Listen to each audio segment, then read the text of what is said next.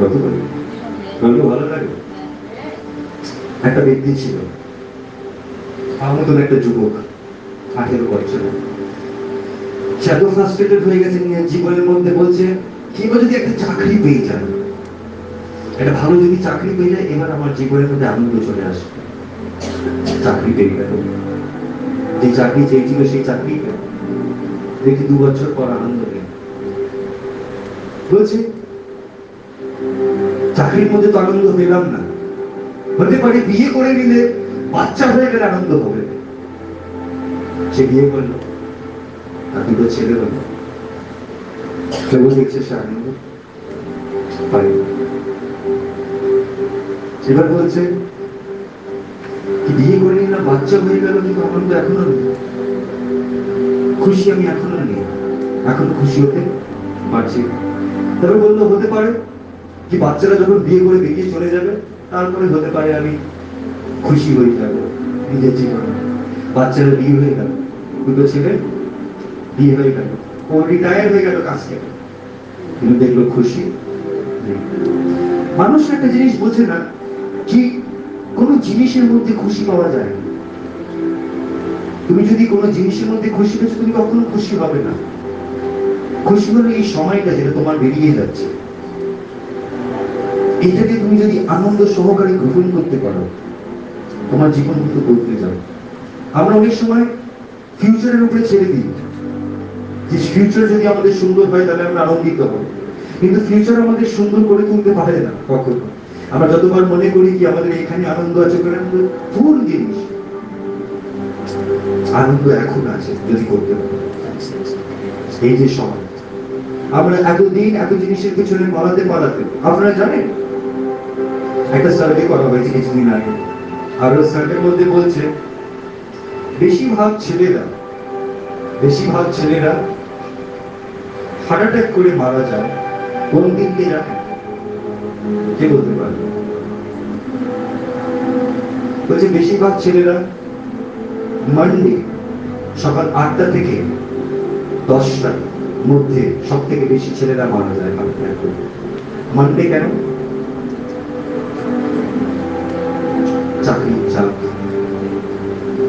কারণ থেকে কাজ শুরু হয়। অনেকজন চাকরি করছে, যে চাকরিগুলো তারা পছন্দ করে না। আজীবন তারা ওই চাকরি তারা পছন্দ করে না। লাস্টের দিকে কি হয়? যখন আসা শরীর সাথ দিচ্ছে না, মন সাথ দিচ্ছে না তুমি মনের বিরুদ্ধে, শরীরের বিরুদ্ধে কি তুমি চাকরি করছ? আর একদিন তোমার হাঁটি তোমার সাথ ছেড়ে আর বলা হচ্ছে কি, এই সার্ভে করে দেখা হয়েছে কি মানডেতে বেশিরভাগ ছেলেরা মৃত্যুবরণ করে, সবার অ্যাটাক বেশিরভাগ হার্ট অ্যাটাকের রিপোর্ট আসে ওই সময়, কি মারা গেছে। কারণ কি? আজীবন আমরা ওটা করেছি যেটা আমাদেরকে ভালো লাগে। আমরা খুশি না বলছে যারা খুশি জীবন যাপন করে, জানেন, আনন্দের মধ্যে অনেক কিছু হয় যেটা আমরা জানি না। আনন্দের মধ্যে প্রথম জিনিস হয় তোমার জ্ঞান বেড়ে যায়। আনন্দের মধ্যে দ্বিতীয় জিনিস হয় তোমার যে ইন্দ্রিয়গুলো আছে সুন্দর করে কাজ করে। আনন্দের মধ্যে তোমার ইন্দ্রিয়গুলো সুন্দরভাবে কাজ করে, তোমার চিন্তাধারা সুন্দরভাবে কাজ করে। তুমি মিশতে পারবে সবার সাথে তুমি সবার সাথে উঠতে পারবে, বসতে পারবে। আনন্দের মধ্যে বলা হচ্ছে যারা আনন্দে বাস করে, তারা টাকাও কিন্তু বেশি কামাতে পারবে। এটা তোমরা জানতাম না। এটা আমি বলছি এটা সায়েন্স বলছে। যারা আনন্দে বাস করে, তাদের স্যালারি হাই কারণ তারা ওটাকে ভালোবেসে করছে। আর যেটাকে আমরা ভালোবেসে করি, সেটাকে খুব ধ্যান দিয়ে আমরা করি, আর সেটাকে কিন্তু বাড়িয়ে দিতে পারি। যতক্ষণ তুমি নিজের চাকরিকে প্রেম করবে না, ততক্ষণ তুমি ওই চাকরির মধ্যে নিজে হান্ড্রেড পার্সেন্ট দেবে না।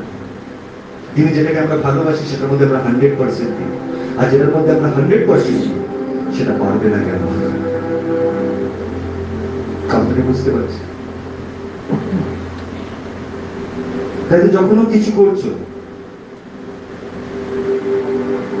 তোমাকে বোঝার খুব প্রয়োজন যে তুমি খুশি আছো happy?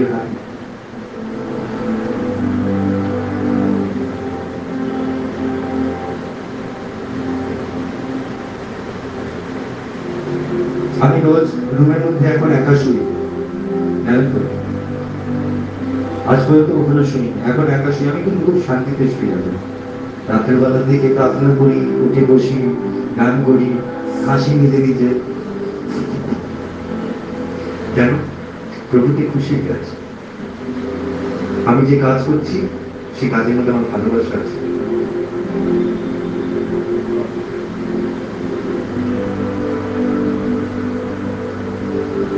সেখানে অনেকজন স্ত্রী আছে। যদি স্বামীকে প্রেম না করে বাড়ি কাজ করবে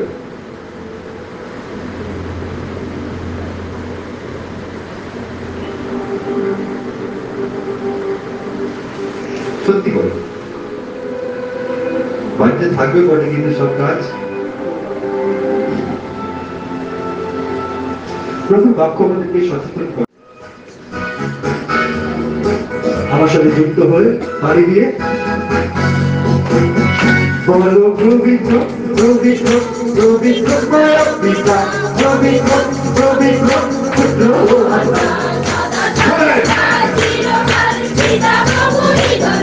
পবিত্র যিশু নিহত গৌরব গৌরব যত পয়সা দিব প্রশংসা প্রশংসা কারও দূরে ধন্যবাদ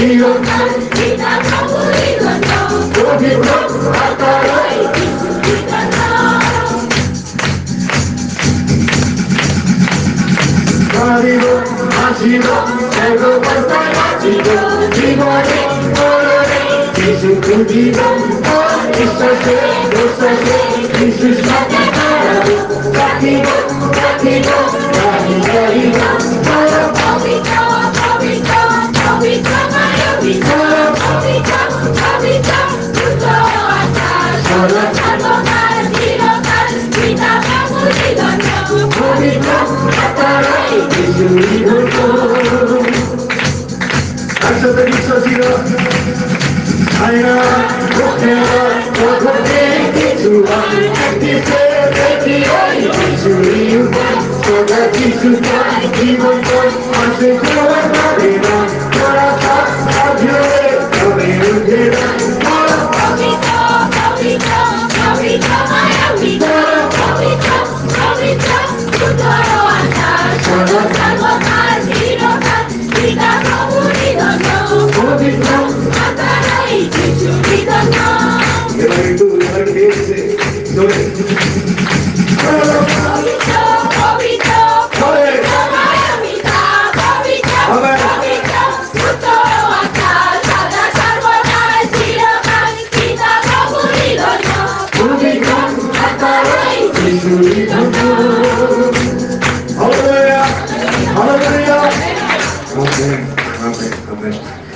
বুঝতে হবে যে আমরা পবিত্র পবিত্র ঈশ্বরের সেবা করি।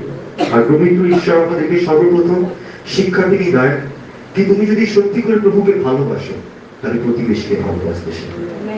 তুমি যদি আজকের দিনে প্রতিবেশীকে ঘৃণা করে যদি দাবি করো প্রভু, আমি তোমায় কত প্রেম করি, প্রভু মিথ্যাবাদী। তুমি মিথ্যাবাদী, তুমি তো নিজের প্রতিবেশীকে ভালোবাসতে শেখো তুমি আমায় কি ভালোবাসো? যাকে তুমি রোজ দেখতে পাচ্ছ তোমার সাথে বাস করে, তুমি তাকে ভালোবাসতে পারো তুমি আমায় দেখোই তুমি আমায় কি ভালোবাসো আমরা কি বলতো, আমরা অনেক সময় না কল্পনা করতে ভালোবাসি যে আমরা সঠিক আছি, কিন্তু জীবনটা আমাদের সঠিক না। আমরা ভাবি যে আমরা সব ঠিক আছে, কিন্তু অ্যাকচুয়ালি আমাদের জীবন ভেঙে চুরমার হয়ে যাচ্ছে আমরা মনে করি আমরা প্রভুকে প্রেম করি, কিন্তু অন্যজনকে রাগ মারছে অন্যজনকে বুকাচ্ছে অন্যজনকে ঘৃণা করছে। অন্যজন এগিয়ে গেলে পছন্দ করছে কেন জানেন? কারণ আমরা সবাই অভাবের মধ্যে রয়েছি। কিসের অভাব? টাকার অভাব নেই। এখানে অনেকজনের কাছে বাড়িতে টাকা রয়েছে। আছে, সবাই কিছু কিছু জায়গার মধ্যে ঢুকিয়ে ঢুকিয়ে রেখেছে। লুকিয়ে লুকিয়ে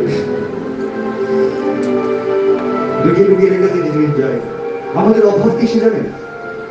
টাকার দিক থেকে নয়, বাড়ির দিক থেকে নয়। আধ্যাত্মিক দিক থেকে আমাদের অভাব। আমরা খুব গরিব হয়ে পড়েছি, দয়াতে, মায়াতে, কৃপাতে আমরা খুব গরিব হয়ে পড়েছি। ইন্দ্রিয় দমনে খুব গরিব হয়ে পড়েছি, প্রেমেতে খুব গরিব হয়ে পড়েছি। যার জন্য আমাদের কাছে সবকিছু থাকার স্বার্থে আমরা শান্তিতে নেই। কারণ আমরা দয়া করতে পারি, আমরা কৃপা করতে পারি। আপনারা জানেন, কিছুদিন আগে আমি রাস্তা দিয়ে হেঁটে যাচ্ছি।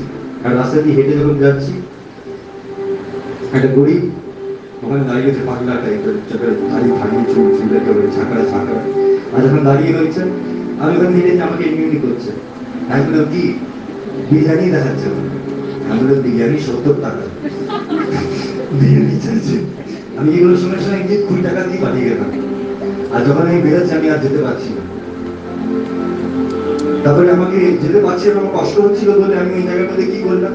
আমি বললাম, না, যদি আমি সত্তর টাকা দিতাম হতে পারি নেশা করি নিজেকে বোঝাচ্ছি। কিন্তু প্রভুর আত্মা ওই সময় আমাকে বলছে, যদিও বল নেশা করে, প্রভু বাক্য বলে, যদি তোমার কাছ থেকে ভিক্ষা করে, তাকে খালি কাছে আমি বিশ্বাস করে ওখানে যেতে পারিনি, আমি আবার ফেরত গেছি। ফেরত গিয়ে যেখানে সত্তর টাকা দিতে কষ্ট হচ্ছিল, সেখানে কুড়ি টাকা তো আগেই চলে গেছে। বিরিয়ানিও কিনে নিতে পেরেছে শেষ পর্যন্ত কেন জানি? কারণ প্রভুর আত্মা আন্দোলন ছিল রাস্তায় দেখছি নব্বই টাকা চলে গেছে, আমি নব্বই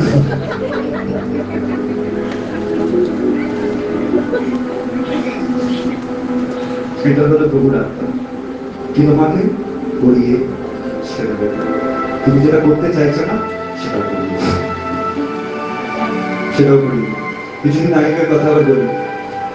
রাস্তার মধ্যে আমি যখন যাচ্ছি তুহিন ছিল আর তুহিন দিয়ে আমরা যেই নামলাম মেট্রো থেকে একটা দুটো ছেলে, বদমাস ছেলে গুলো একেবারে গিয়ে গিয়ে পড়ে একেবারে দৌড়ে গিয়ে ঢোকার চেষ্টা করছে দিয়ে আর যেই ঢোকার চেষ্টা করেছে মেট্রো দরজা বন্ধ হয়ে গেছে। আর ওরা দূরে দৌড়েছে আমি দেখি সেটা কি করেছে। আমি সামনে গিয়ে দেখি দু হাজার টাকা আর তার সাথে পাঁচশো টাকা মিলে মানে আড়াই হাজার টাকা করেছে। আমি তুলেছি। তুলে নিয়ে আর হাত বাড়তে পারছি না বেটা হচ্ছে না। কিন্তু চেষ্টা হচ্ছে কিন্তু। কিন্তু শেষ পর্যন্ত যেহেতু প্রার্থনার মধ্যে থেকে ছিলাম, প্রভুতে আছি টাকাটাকে রাখতে পারো। আমার মনের মধ্যে ওই সময়, আমি বুঝতে পেরেছি একটা সময়, কারণ যারা প্রভুতে থাকে, প্রভু তাদেরকে শিক্ষা দেয় অনেক বিষয়, জানেন তো? যারা নিজে দেখেছে কষ্ট করেছে টাকার জন্য, তারা বুঝতে পারবে টাকাটা কি। তারা চেপে রাখতে পারে না। সঙ্গে সঙ্গে আমি ওকে জিজ্ঞেস করলাম, আমি ভাই ভাই আমার কি টাকা পড়েছে? হাত ঢোকাতে দেখছি আরও পাঁচশো পাঁচশো টাকার নোট দিচ্ছে গুনছে, গুনে বলছে, না ভাই আড়াই হাজার টাকা পড়ে গেছে। এটা বলার মানে একটাই মানে কি যখন তুমি প্রভুতে থাকবে তুমি দেখবে তোমাকে কিছু করে দিতে পারবে না। কারণ প্রভু তোমাকে ধরে রেখে দেবে। কিন্তু প্রভুতে থাকতে হবে। তোমাকে ইচ্ছুক হতে হবে যে প্রভুতে থাকব। আর যদি ওই ইচ্ছাটা তোমার মধ্যে থাকে, তুমি অনেক পাপ থেকে বেঁচে গেলা তোমার জীবনের মধ্যে আশীর্বাদ আসতে দেরি হবে না, আশীর্বাদ ঢেলে দেবে প্রভু আর প্রভু বাক্যর মধ্যে বলছে, তুমি পরীক্ষা করে দেখো আমার মারাঠি পত্রের মধ্যে বলছে। বলছে, প্রভুকে কি ঠকানো যায়? আমাকে পরীক্ষা করে দেখো। যখন তুমি প্রভুর উদ্দেশ্যে কিছু করছ যাই ওটা, তুমি দশমাংশ দিক দিয়ে আমি বলছি কিন্তু তোমার দৈনন্দিন জীবনের মধ্যে থেকে। যেটা তোমার নয়, সেটা নিজে কখনো করবে না।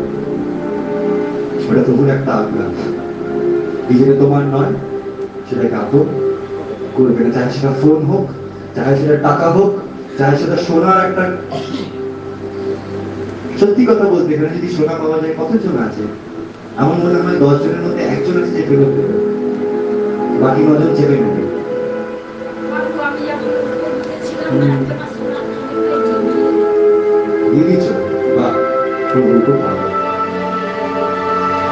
বলার বলার চেষ্টা করছি কি বুঝতে হবে। যে প্রভু যেটা দিয়েছেন ওটার মধ্যে তুমি সন্তুষ্ট নয় প্রভু তোমাকে আরও দিলে তুমি সন্তুষ্ট হবে না। কিন্তু আপনার সন্তুষ্ট তাই এখন পর্যন্ত অনেক টাকা কামিয়ে তারা এখনও সন্তুষ্ট নয়। কোটি কোটি টাকা তাদের কাছে আছে। তাদের বসে খেতে পারে। কিন্তু তবুও তারা চাকরিতে যাচ্ছিল কারণ তারা